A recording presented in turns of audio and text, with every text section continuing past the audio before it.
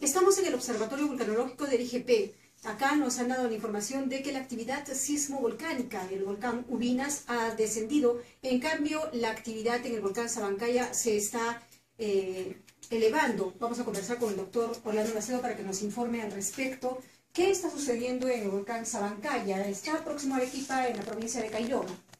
Sí, el volcán Sabancaya tiene un aumento de la actividad sísmica que se ha visto desde finales de mayo, poco a poco, muy lentamente. Y efectivamente en la última semana se observa, se sigue observando que hay un, incremento que está traducido sobre todo en que la sismicidad próxima al volcán primero se está aproximando hacia el cráter lentamente, pero que también existen algunos pulsos de actividad sísmica asociados a subida de material magmático.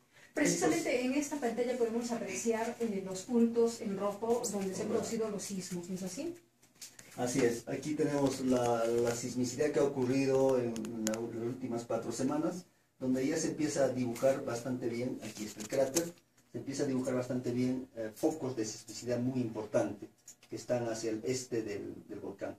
Eh, al parecer hay fallas que, están, que son activas por la zona, que se están ah, moviendo con bastante frecuencia. Eso se deduce de los sismos en, cadena en fila prácticamente, ¿no?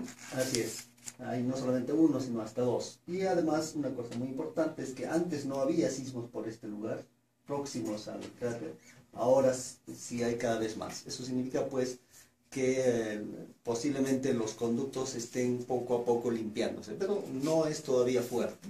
¿Qué tipo de fumarolas están saliendo del volcán Sabancaya?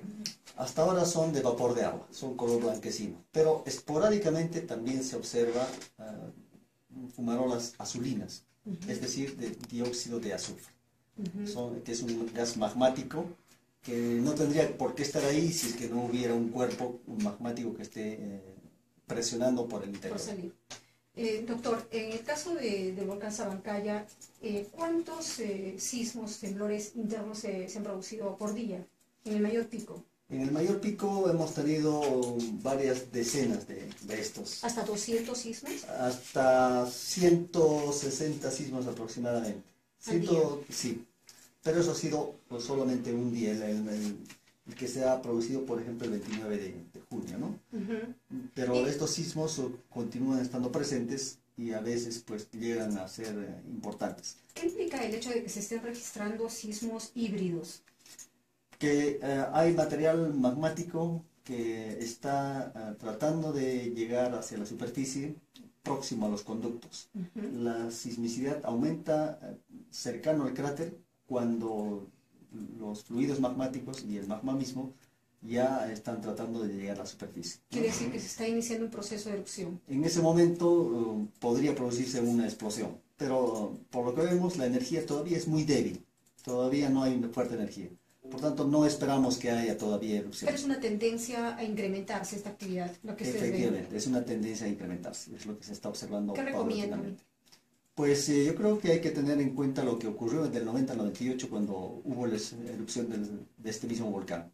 Lo que ocurrió fue con una erupción de una magnitud o un índice de volcán, volcánico de 2 en la escala de 8 y eh, entonces eh, las poblaciones pienso que deben prepararse para una erupción en los próximos meses tal vez, pero que puede muy bien ser posible en este... En población a 20 kilómetros el poblado más cercano está a 20 kilómetros. ¿Debería evacuarse? No. ¿Todavía? No, todavía. Pero hay que tomar las precauciones. Hay que, la gente debe recordar lo que sufrió en esos años y esperar a que va a poder tener las mismas molestias de ese tiempo.